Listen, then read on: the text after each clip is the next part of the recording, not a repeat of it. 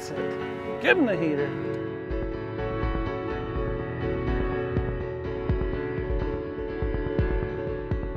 He's got some pink to him. Just beautiful.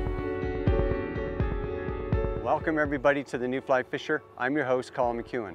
In today's show, we're in beautiful Alberta. In fact, the Bow River is right behind me, one of the top trout rivers in North America. We're the guests of Fish Tales Fly Shop, and we even have a special guest today, and that's Simon Gawesworth from Rio Products. We're going to be talking about streamer fishing, we're going to be talking about dry fly fishing, we're going to be talking about techniques for hopper droppers, a whole plethora of different types of information that'll help you understand more about how to fish a river like this for big trout. It's going to be a great show. Stay with us.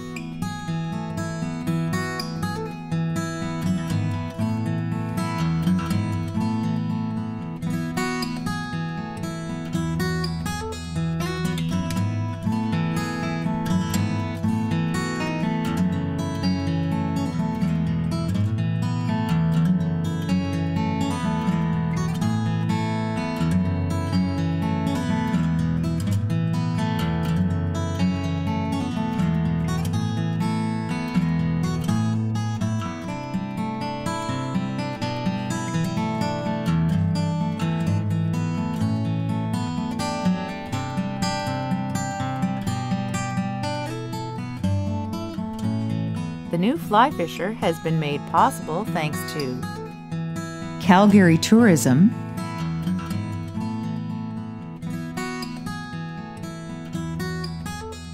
Orvis Sporting Traditions, Rio Products, Superfly, fly fishing made easy.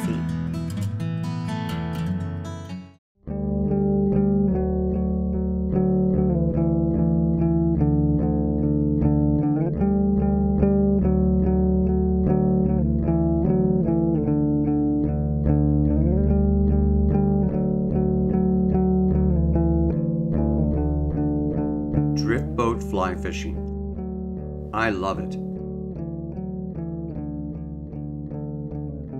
What is even better is if you can do it in September when the grasshoppers are falling in the water. It's a great time of year for outstanding topwater action.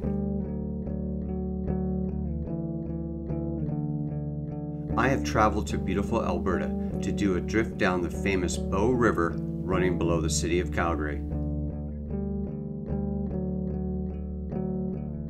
The Bow is one of the better known rivers in Western Canada because of massive numbers of trout the river supports. Plus the fact you can literally stay in the city at a hotel. Calgary is a vibrant city with wonderful accommodations, restaurants, and sights to see. But for this trip, it's all about fishing.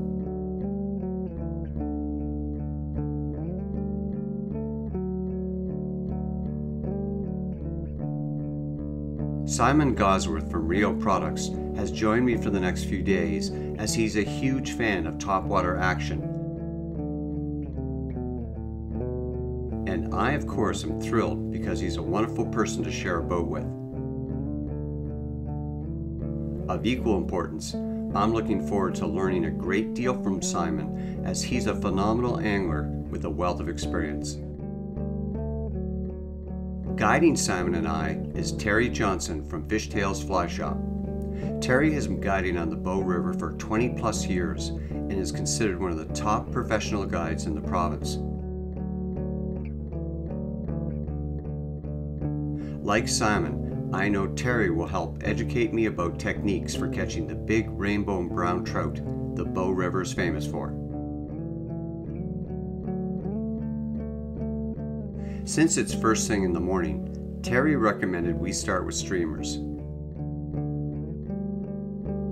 Simon is an expert on streamer fishing and shares some great information on rigging options for a two fly setup.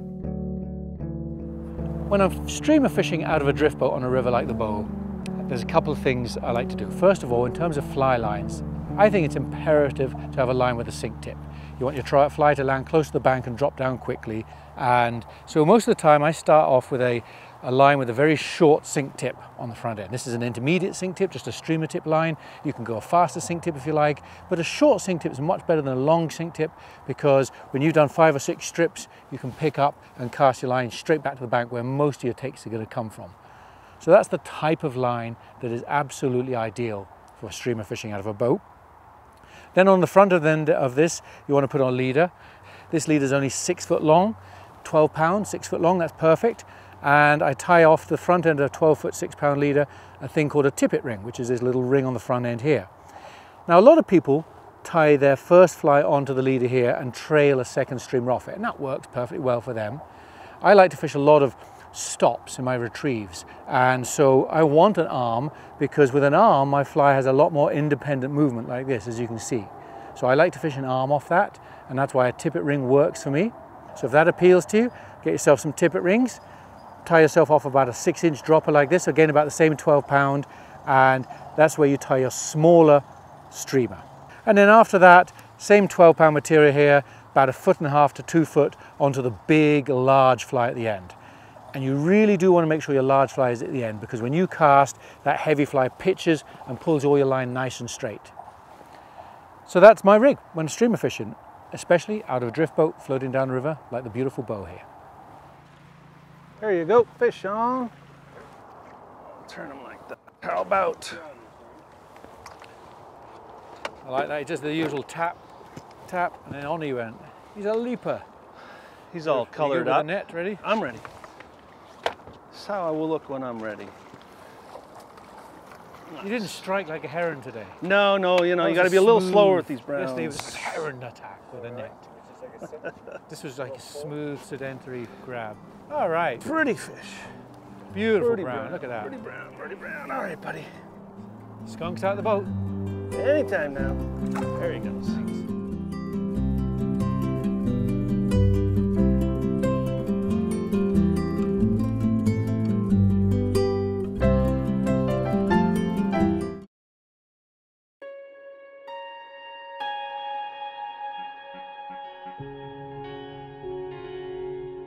Every September, anglers in the West get excited about grasshoppers.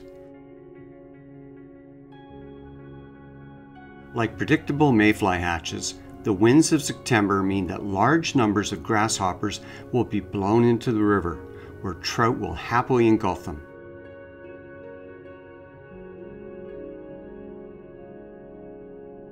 On the Bow River, big trout hang tight to the edges, looking for these delectable terrestrials to fall haplessly into the water. The question is always when will the topwater grasshopper bite happen? In order to achieve fishing success, smart fly fishers will use a two fly rig composed of a grasshopper and a dropper tied to this pattern. Simon explains the setup we're using today to cover both the surface and subsurface bite.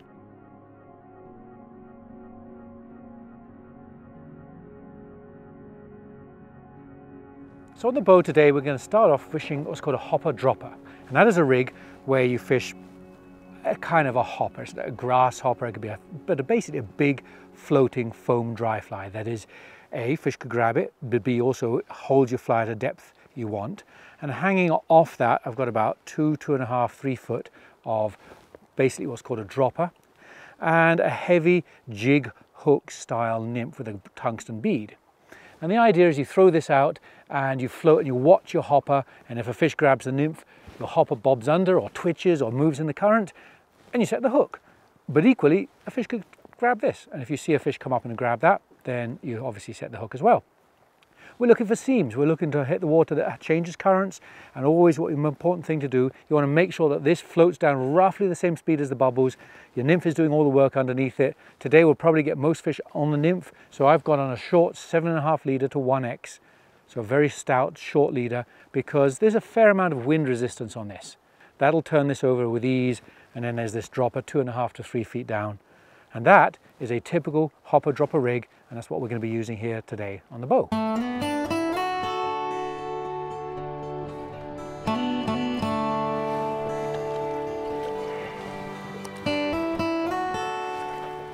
Two fish on the hopper before 10 o'clock. That's good. I'll take it. Yeah, we'll take that.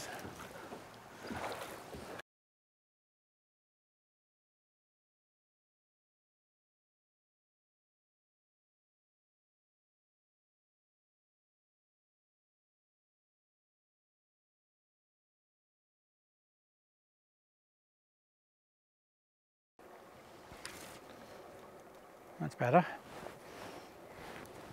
Not giant, but better. Well, he's almost bending the rod. That's good. Oh, I can get him to bend the rod. Oh, yeah. That's a gooder.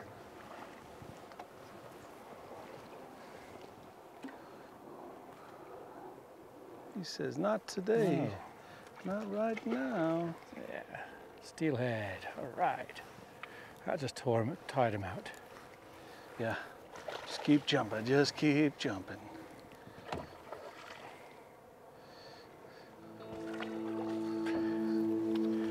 One rear lift, and you're mine. There he comes. There he comes. Heads up. Nice. Well done. Nicely done. It. Just been in. Fly works with a hook on. I'm so relieved that it wasn't just my ability at setting the damn hook, or inability.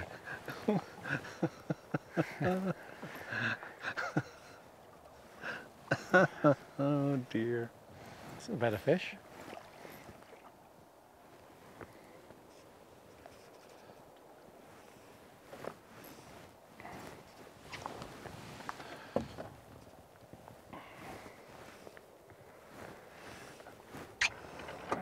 All right, have you finished your shenanigans yet, Trout? Get your head up.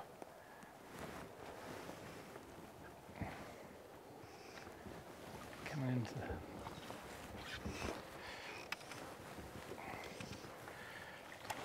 the And skim, skim, skim, skim. Nice. All right, dry fly.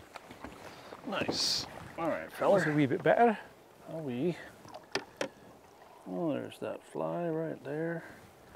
Open up. Thank you. Okay. Nice. So that was uh, dry fly, and the fish rose. We floated down, made a cast about two feet above it, dead drift down, and the fish, the little bit of light, the sunlight, you could see the silver flanks come up. All the time in the world to prepare for the hook set, and then down he came, set the hook nice and easy. Beautiful. That is dry fly fishing at its best. Absolutely fantastic way of catching fish.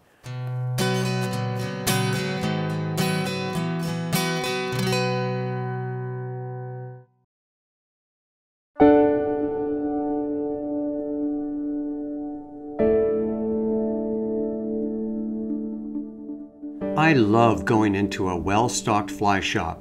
It's like a candy store to me.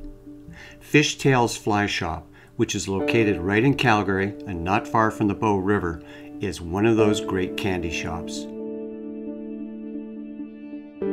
Since 1997, Fish Tales Fly Shop has become recognized as the place to visit for local knowledge, technical information, and expertise. Owners David Blair and Nancy Storwick have created a warm and comfortable retreat for anglers young and old. Fly fishing equipment, instructional courses, and guiding. They and their staff offer it all.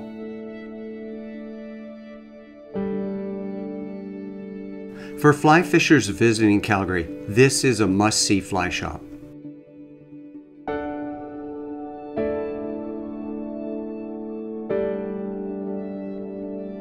Later in the day, Simon took out his two handed fly rod and started swinging soft hackle flies from the bank. This is a deadly technique for catching trout, and it's also a lot of fun.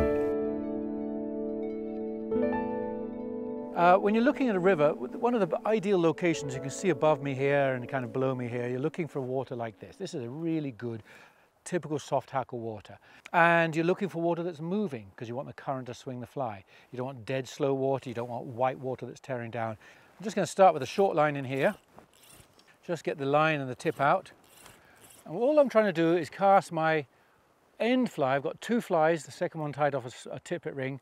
My point fly, the furthest fly, I want to cast it just into the quicker water and then both flies swing out of that quicker water into the soft water. And that's why I like fishing two flies, is you're covering a lot of water swinging with two flies, especially when you tie them off something like a tippet ring, which makes it really easy to do. So now that's swung round, I'm going to go down a couple of steps and pop my fly back out and just work my way down this inside seam to the bottom. And that is swingy soft hackles on a spey rod.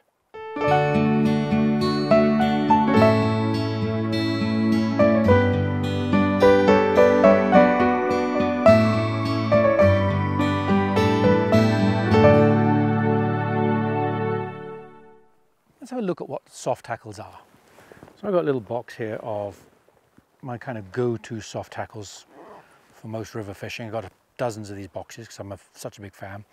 And this kind of gives you an idea of the array of flies. There's some large ones and there's medium, and there's average and there's micros and there's tinies, but they all follow a theme.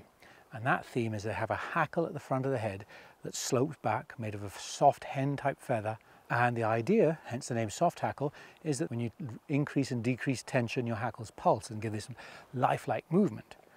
And so this is a selection of type of soft hackles I have. These big ones I like to use as point flies when I'm searching. Now these ones are October caddis type colors. So if the fish are feeding on October caddis or they're feeding on the pupa and the larvae in the water, then I might put on one of these. And then generally speaking, you want to mix up and always have a smaller fly. My smaller flies might be something down here. I've got some grey ones, I've got some ones with greenish body and grey hackles. I've got some yellow ones here like PMD patterns. So you can simulate the hatches with the soft hackles. You get the same kind of colour variations. And that's a good thing to know because when you're fishing to rising fish with soft hackles, if they're rising on PMDs, well, fish a yellow body one. If they're rising on blue-winged olives, fish one with an olive body. You're going to get a lot more success by observing that colour scheme, if you like. And if you don't know what those flies are, just go by the colour. Look at what the colour of the natural flies are flying around or lying on the water and pick something similar to that.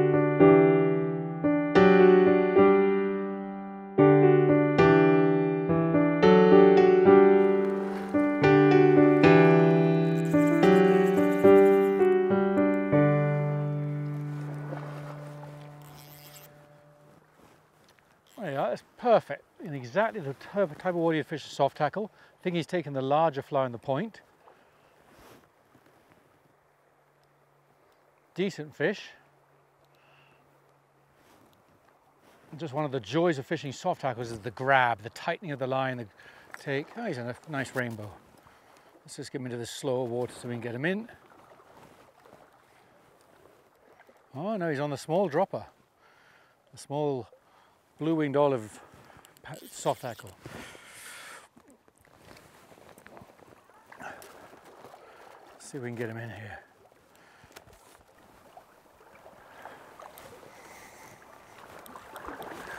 Nicely done. A cracking little rainbow off the boat. Look at that for a beautiful trout.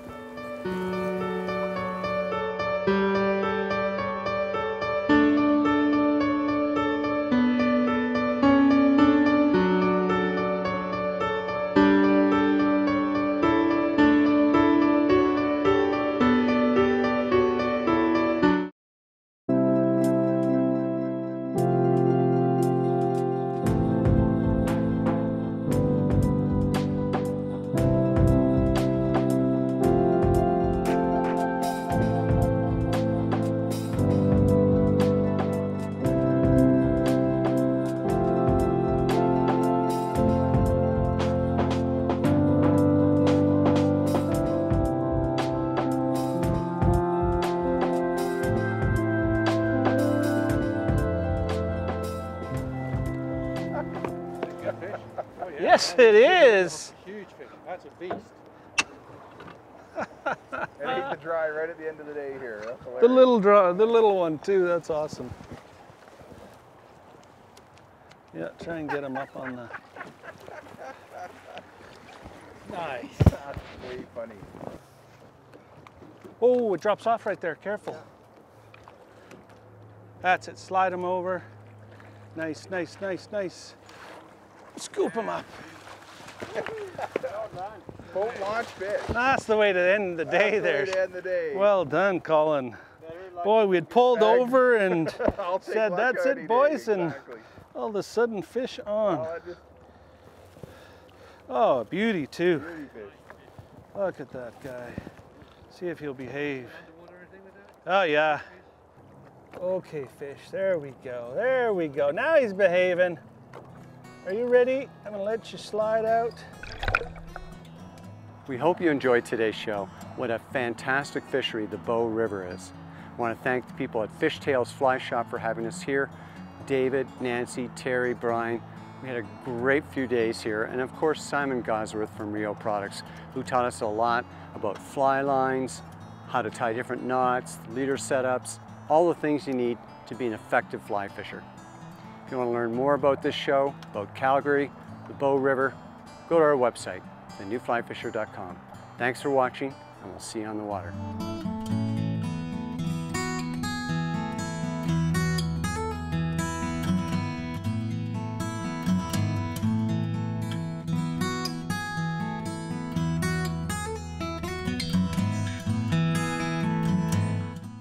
Fly Fisher has been made possible thanks to Calgary Tourism,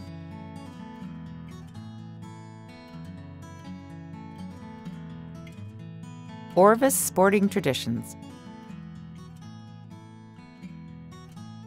Rio Products,